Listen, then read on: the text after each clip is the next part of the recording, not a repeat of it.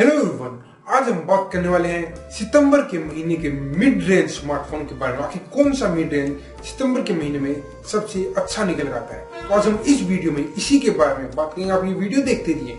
मेरा नाम है भारत चौधरी, आप देख रहे हैं निशान बात। तो लेट स्टार्ट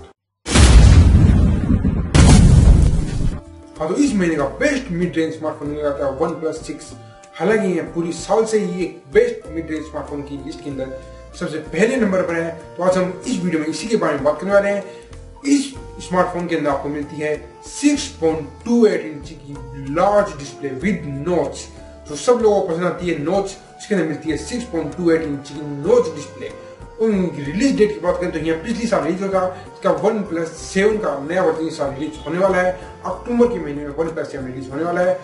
अगर हम इस वन प्लस सिक्स की बात करें, उसके अंदर आपको मिलती है सिक्स जीबी और एट जीबी की रैम। मतलब एक बहुत ज़्यादा बड़ी रैम मिलती है इसके अंदर आप कुछ भी कर सकते हैं।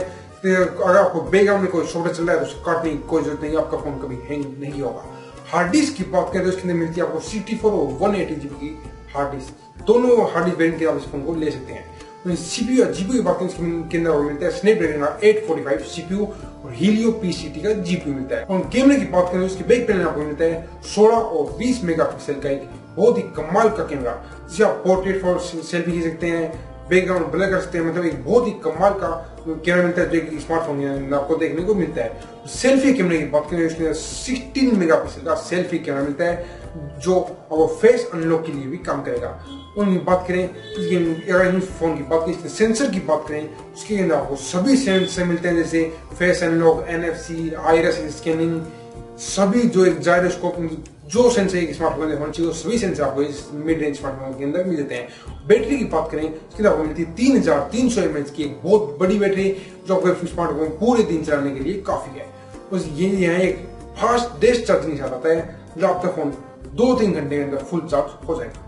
तो इसकी ऑपरेटिंग सिस्टम की बात करें तो इसके अंदर आपको एंड्रॉइड 8.1 ओरियो मिलता है। और फाइनल चीज़, हम इसकी प्राइस की बात करें तो यह स्मार्टफ़ोन लगभग चालीस हज़ार रुपए करीब मतलब एक बहुत ही अच्छा स्मार्टफ़ोन आपको लगभग चालीस हज़ार रुपए करीब मिल जाता है। अगर आप स्मार्टफ़ोन खरीदना चाहते हैं तो आपको नीचे डिस्क्रिप्शन में लिंक मिल जाएँगे। तो आपको यह वीडियो पसंद है तो हमारे वीडियो को लाइक कीजिए। हमारे चैनल को सब्सक्राइब करना न भूलें, क्योंकि हर रोज आपके लिए इससे अच्छी वीडियो लेकर आते हैं। So thanks for watching I will see in next one